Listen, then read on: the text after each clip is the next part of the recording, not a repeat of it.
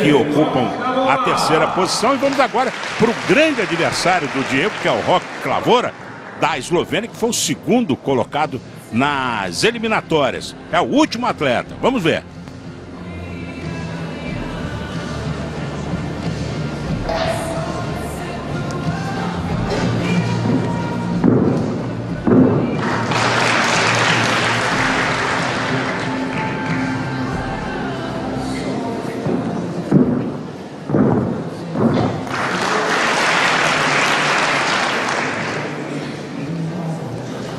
ます。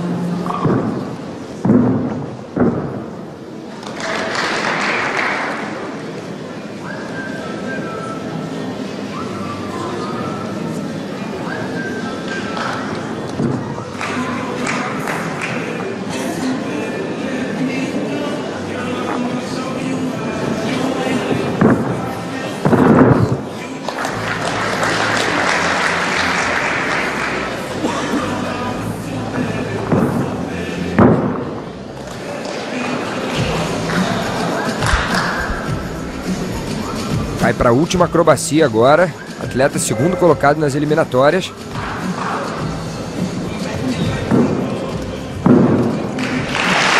Passo largo aí na chegada.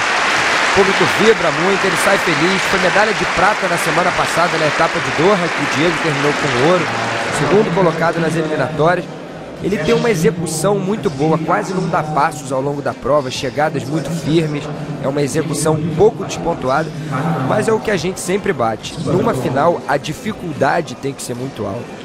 E essa prova não tem um grau de dificuldade tão alto quanto a do Diego, apesar de uma dificuldade média, uma execução muito bem feita.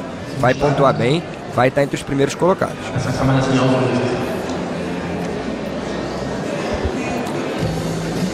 Já já a gente vai saber a nota dele e definir, né? Se a medalha de ouro é ou não é do Diego. Olha, tá parecendo que o Clavora vai ficar atrás de novo, né? Mas a gente tem que aguardar porque são os árbitros lá que estão fazendo as contas e a gente aqui está só observando. Cabeça de juiz nunca dá para se apostar. É verdade. Né? Vamos ver a nota dele. 15,466 é o Diego, hein? Para você guardar. 15, 14, 866. Diego Hipólito, medalha de ouro.